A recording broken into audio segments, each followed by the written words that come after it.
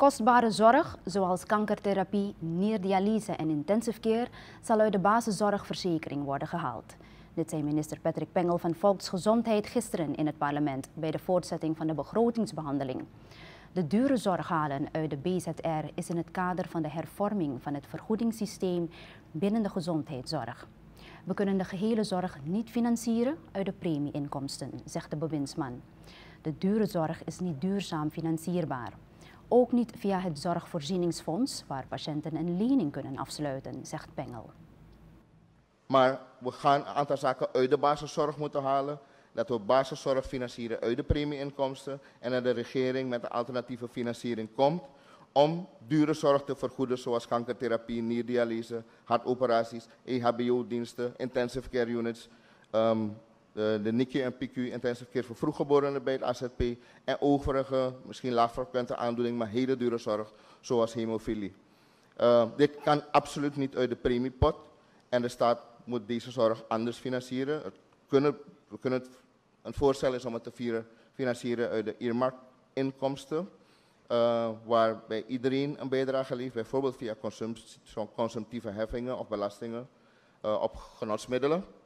Um, of anders, waarbij dus de gebruiker of de misbruiker betaalt. Uiteindelijk belandt die toch in de curatieve zorg en dan moet de staat toch die kosten voor een groot deel op, voor haar rekening nemen. Dus waarom deze misbruikers van genotsmiddelen niet een voorschot laten betalen terwijl ze het gebruiken. Pengel geeft verder aan dat de Raad van Ministers een financiële injectie van 13 miljoen SAD heeft goedgekeurd ten behoeve van de herstructurering van de gezondheidszorg. Met dit geld zullen de noodlijdende ziekenhuizen worden geholpen om het hoofd weer boven water te krijgen. Zoals ik had aangegeven, alle ziekenhuizen zitten met torenhoge schulden. Um, de ziekenhuizen betalen miljoenen aan rente aan banken waar zij dus kredietvoorzieningen hebben.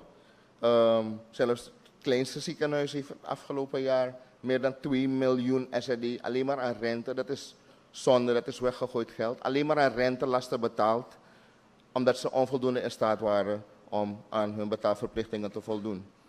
Um, natuurlijk moeten we met een hele fijne luizenkam gaan door de administratie van de ziekenhuizen. We denken inderdaad dat er nog veel meer efficiëntie te halen valt. Dus ik zal voorop in de race staan met het aangaan um, om efficiëntieprojecten binnen de, huis, uh, de ziekenhuizen.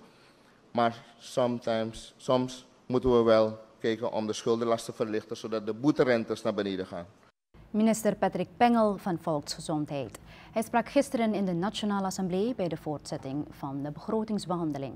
De regering gaat in deze ronde in op de vragen van het parlement.